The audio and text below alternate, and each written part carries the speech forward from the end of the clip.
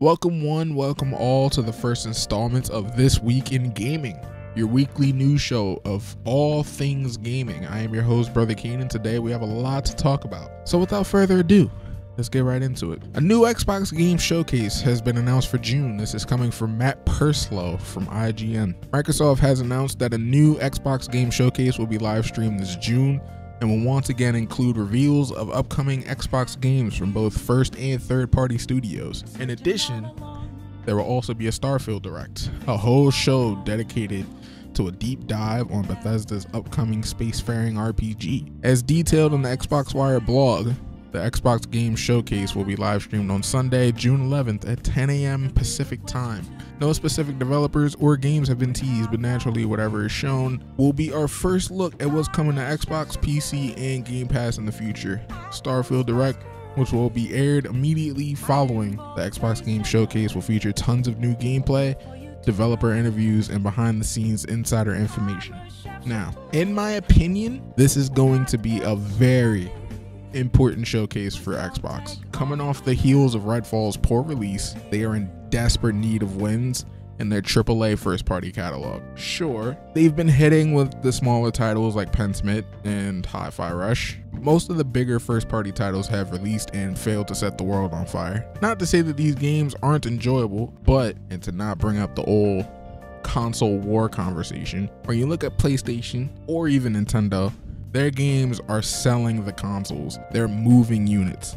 Microsoft has to bring the heat. Not to mention at their showcase, at their last showcase, they did not deliver, Phil Spencer's words, on the 12 month promise. So they really need to bring the heat and give Xbox fans a reason to be excited for this brand again, and honestly give a reason to want to turn on the Xbox. And speaking of Phil Spencer, he had an amazing conversation with the Kinda Funny X guys. He talks about Redfall, the state of Xbox's Activision Blizzard deal. If you're interested, go make sure to check it out.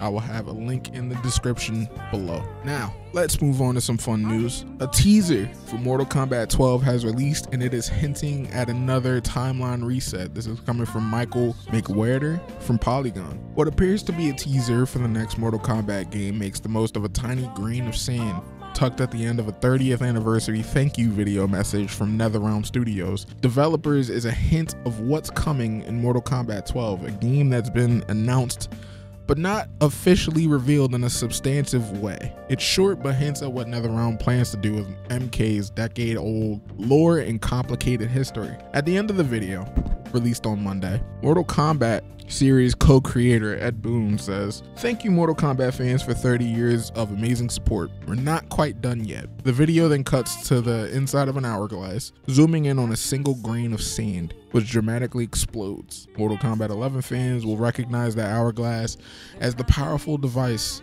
controlled by Kronika, the titan known as the Keeper of Time, who was at the heart of that game's time-bending tale. Kronika has the power to alter time, change the course of history, and bring people from the past into Mortal Kombat lore's current era. And that's how young Johnny Cage and older Johnny Cage meet in MK11. Kronika's hourglass represents the countless timelines she has crafted and altered in her pursuit to balance Mortal Kombat's various realms. Now, they have a bunch of spoilers in the article for MK Story, so I'll move on to my own opinions. I'm super excited for a new Mortal Kombat. I played very little of MK11, mainly going through the story. I did play some online and enjoyed myself, and honestly, it did bring some toxicity out of me a bit. Mortal Kombat will do that to you. But honestly, the story super interesting to me always has been. Well, let me not say always, but after playing it, I definitely wanted to know more lore. Why is Liu Kang a zombie? Stuff like that. I don't know how I feel about another timeline reset since I know they recently did it did one with uh, MK9, but I also wouldn't be mad at it either. This new game being a jumping on point for new fans could be great for the game and the franchise going into the future. I'm just hoping we don't have to wait too long for an MK12 official reveal. With Summer Game Fest, it makes too much sense for it to be there. But tell me in the comments, what rapper do you think is going to be doing the music for the reveal trailer while we watch Scorpion and Sub Zero beat the ever loving shit out of each other? Curious. But moving on. Fall Guys Season 4 is launching next week with a level editor. This is coming from Tom Ivan at VGC. Set for release on May 10th at 10 a.m. UTC. Its headline edition is creative, an in game level editor. That lets players build custom rounds and then share them with the community. It's been the single biggest change that we've made in the game, and it's really exciting to finally give players the keys to the kingdom, basically, said Mediatonic creative director Joe Walsh. From now on, the dev team at Mediatonic are going to be using the creative tools to build levels for the game exclusively. He added, that means we can launch more content than we ever have before. With the launch of season 4, we're going to be dropping over 50 rounds throughout the course of the season, which is way more than we've ever managed before. Another thing that is also really helpful is that for the first time, we can start tweaking the levels over the air. So we won't need to push new updates live to fix bugs, which is a big problem we've always had with the game. So all of these things are just going to make the content so much richer and so much more varied from this point forward. This makes me really excited for Fall Guys. I love Fall Guys. Me and my friend Kason, when it went free to play, we tried it out and I absolutely fell in love with the game. And the fact that they're giving us tools to create inside of the game, not only that, like these aren't like Mario Maker levels of like, okay, we're gonna make game design easy. You know what I mean? Make like gamify, you know, game design. No, they are actually going to be using the tools that they're going to give us to design more rounds and levels within the game. That is amazing. That sounds amazing to me. I can't wait to see how bad shit the community are going to get is going to get with these tools in their hand and i'm looking forward to living out my game design dreams as well. Maybe some level creation streams in the future. Twitch.tv slash brother underscore kaine. Who knows? Who knows? I'm very excited for that though. Uh, but that does it for the top stories throughout the week. Uh, now it's time for some quick hits. I'm gonna go through some news stories that that i feel maybe aren't as big as the top stories, but I feel like should get some shine. And I'll have the links to the uh, articles that I got them from down below for you to check out. But first up, in the world of Marvel games, there's good news and bad news. Good news is Marvel Spider Man 2 is getting a prequel comic on May 6th, free comic book day.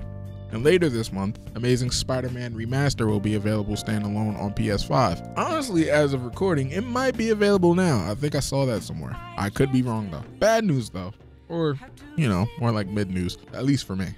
The Switch version of Marvel's Midnight Suns has gotten canceled. This was announced alongside the release date for the last gen versions of the game, along with its final post launch DLC, which releases May 11th. I say this is kind of mid news because I was never going to play this game on Switch. I'm sure there was a community that probably were looking forward to this and honestly that really sucks for them that they uh, won't get the chance to play this game that they've been looking forward to probably the real question is or where this really makes me wonder is if this is going to be kind of the first shot that tells Nintendo that it's time for an upgrade to the Switch. I know there have been rumors circulating constantly of a Switch Pro or a Super Nintendo Switch, whatever you want to call it, possibly being in the works but I'm pretty sure I'm pretty sure Nintendo came out not too long ago saying there are no plans currently for a new Switch. And with the new Pokemon running like trash on the console, you don't really know how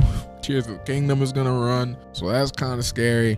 Uh, third party games not looking third party ports not looking great on the Switch and Firaxis just outright canceling a Switch port. I wonder if this is gonna be. I wonder if this is gonna make Nintendo decide. Yeah, it's it's time. It's it's time to upgrade the Switch or at least put some kind of plan in place to upgrade the Switch in the foreseeable future. Uh, in the realm of fighting games, though, Capcom's president has said that Street Fighter 6 sales are targeting 10 million copies sold. Will it hit that? There's no doubt in my fucking mind. it will. With everything that's that they're putting all the work they're putting in for the casual audience to be able to just jump in and enjoy the game is going to sell extremely well. And Street Fighter V lifetime sales are at 7 million copies according to the president. And that game at launch was ass. That was a two pack. In the words of Joe Budden, that was a two pack of ass. Uh, according to the people who played the game, I did not play the game at launch. I did not care about fighting games at the time. But uh, don't get me wrong though. Now it's a good game, according to the people. I'm still not a big fan of Street Fighter 5 personally. It's a very basic fighting game, and its basic levels makes it hard, makes it a very hard game to play for me. First game was Dragon Ball FighterZ, so you know what they say about us fighters players. Not a whole lot of great stuff, but uh, but Street Fighter 6 currently previewing very well. The game from beta has is just it's fun as all hell. Like you just have to play the game. You know, like according to PlayStation, I've clocked in about 15 hours on the demo, so take that how you will. and if online fighting games isn't your thing, there's so much single player content for you to enjoy. They built an entire Street Fighter RPG and put it in the game alongside the traditional arcade mode. This feels like the first fighting game that feels worth the premium price. With all that being said, there's no doubt in my mind that Street Fighter 6 is going to sell well. It's going to sell the 10 million copies that the president thinks that it will. Now, going back, thinking about the first fighting game that is worth the premium price, Mortal Kombat, obviously, but I think the first Japanese made fighting game that's going to feel worth the premium price. Just wanted to add that little note in there. But speaking of fighting game devs, Arc System Works, there's going to be another Double Dragon game releasing. Double Dragon Gaiden, Rise of the Dragons, developed by Secret Base and, pub- and published by Modus Games. There's no date for the game yet. Reveal trailer just dropped. According to the Polygon article I got this from, published by Michael McWhertor, it's targeting this summer it looks amazing already. The game will be releasing on everything, current gen and last gen, so definitely keep an eye out for that. Along with Chrono Odyssey, a new MMO. Not a big MMO guy personally. I've given a few of them a try, but none could really keep my interest for too long. The combat of this one, however, it looks like like a souls like game so give me that and i could just play with friends I know people are gonna be like, just play Elden Ring, lol. But you know, maybe I don't want to, lol. But uh, this game looks absolutely beautiful. The game looks absolutely gorgeous. I was just scrolling through Twitter one day and found found a link to a PlayStation blog and saw this trailer and I it was stunning. This this game just looked absolutely stunning. So I just want more people to know about it because I didn't know about it until that day. Uh, there will be a Diablo 4 live stream on May 10th at 11 a.m. Pacific time, talking about its seasons, cosmetics, and how the game's battle pass will work. I'm very excited for this game, but I will not be watching this. I will not be watching this live stream. I don't really care too much about it. Uh, honestly, just give me the game. Just give me the game. I don't care about all the extra shit. I, I don't really care about all the extra stuff. I'm gonna be honest with you. Just give me the game. but if you're interested in it, it's there for you. Uh, PlayStation Studio Pixelopus is shut down. If you don't know who Pixelopus is, they're the they're the devs behind Concrete Genie, uh, underrated game on PlayStation. I actually really enjoy Concrete Genie. Hearts go out to them. Hearts go out to everyone affected Hope they find more work and make some more awesome games. Uh, last but not least, there've been Tears of the Kingdom leaks before the game has officially released. I personally, I personally have not seen any. Probably wouldn't care if I did either. Not that big of a Zelda guy. I still haven't finished Breath of the Wild.